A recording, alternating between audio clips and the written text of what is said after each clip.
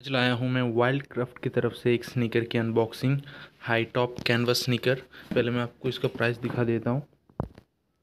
यहाँ पे आप देख पाएँगे फोकस एटीन नाइन्टी फाइव लेकिन मैं इसको कितने में लिया मैं आपको आगे चल कर बता देता हूँ। तो ये है पहले ऊपर का रैपिंग ये वाइल्ड क्राफ्ट की ही है। और ये है शूज़ यहाँ पे आप देख पाएँगे ब्रांडिंग आपको एक निकाल के बता देता हूँ। ये है शू।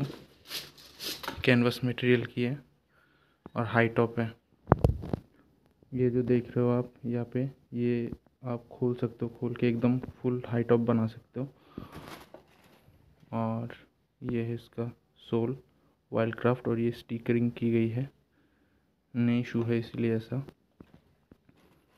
ये है दूसरा वाला और यहाँ पे स्टिचिंग की गई है ताकि कोई मतलब गम ना छूट जाए। मोस्ट ऑफ़ द केसेस होता क्या है कि यहाँ से छूटने लगता है, लेकिन यहाँ पे स्टिचिंग की गई है ताकि छूटे ना।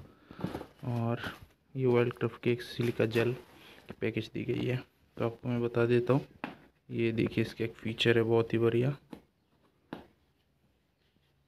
ये देखिए फुल हाई टॉप आप ऐसे भी इसको यूज़ कर सकते हो। बहुत सारे हाई टॉप होते हैं, लेकिन ये फ़ीचर मुझे काफ़ी सही लगा।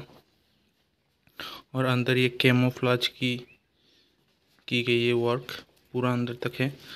वैसे ये ये शू को इंटैक्ट रखने के लिए दी गई है ताकि ऊपर से ऐसे दब के ख़राब ना हो जाए ट्रांसपोर्ट में। यहाँ पे वर्ल्ड क्राफ्ट की ब्रांडिंग यहाँ पे अगेन ब्रांडिंग और मटेरियल काफ़ी सही लगा मुझे।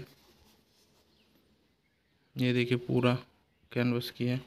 और इसका जो सोल है वहाँ पे भी क्राफ्ट की ब्रांडिंग की गई है और काफ़ी अच्छा है।